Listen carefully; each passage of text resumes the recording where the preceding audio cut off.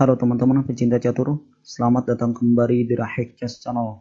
Kali ini saya akan bagikan sebuah partai pada semifinal IM Chess Youth Rapid yang berlangsung kemarin tanggal 3 September 2021 antara Vladislav Artemiev melawan Ale Reza Piroza yang dimulai dengan pion D4 dibalas kuda F6 gajah G5 pembukaan Tromposki D5 kuda D2 H6 ancam gajah. Gajah H4 gajah F5 E3 E6 kuda G ke F3 gajah E7 C4 tantang pion. Rokade menteri B3 ancam pion B7 kuda C6 yang jika di sini menteri kali B7 maka kuda B4 bermaksud ke C2 untuk skak benteng dengan dukungan gajah di F5 dan ini akan buruk bagi putih karena akan membuat raja tidak bisa rokade. Karena itu di posisi ini pion gratis tidak diambil dan memilih gajah E2. Kuda A5 ancam menteri dan pion, menteri A4. Kuda kali C4, kuda makan, pion makan, menteri makan. Kuda E4 membuka tatap muka gajah, gajah makan gajah, menteri makan, rokade, C5, tantang pion, benteng F ke D1, pion kali D4, kuda makan, gajah G6, benteng A ke C1, benteng F ke D8, F3, ancam kuda, kuda D6, ancam menteri, menteri B4, Menteri Gerima F4 Ster.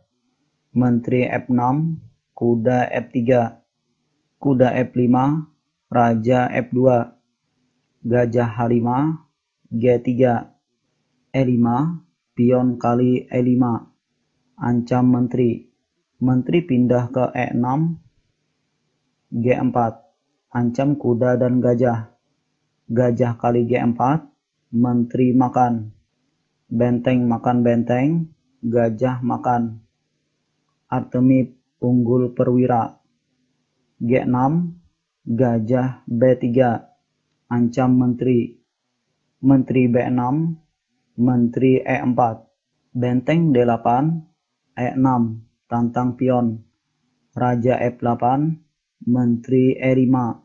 Kontrol diagonal ke B8 dan ancam skak menteri ke H8. A5 bermaksud nantinya menekan gajah di B3. Namun Artemid benteng C7 yang nantinya diteruskan Menteri ke H8 untuk skakmat. Sampai di sini Ali Reza Piroza menyerah.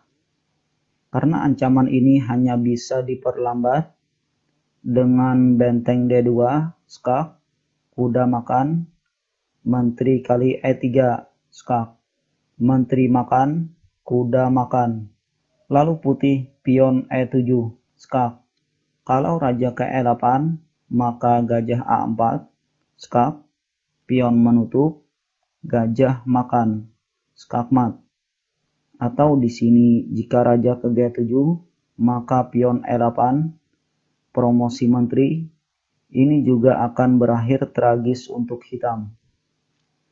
Yap, dengan kemenangan ini dan hasil sebelumnya, Artemid berhasil melaju ke babak final berhadapan dengan Magnus Carlsen yang telah menumbangkan Lebon Aronian yang mungkin nanti kita bahas partainya di video selanjutnya.